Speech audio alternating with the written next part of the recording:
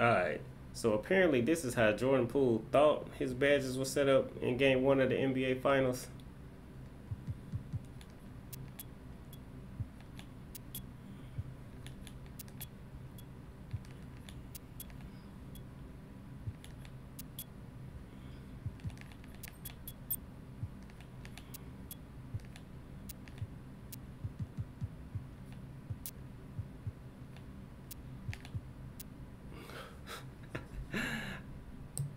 But this is how Jordan Poole badges were actually set up.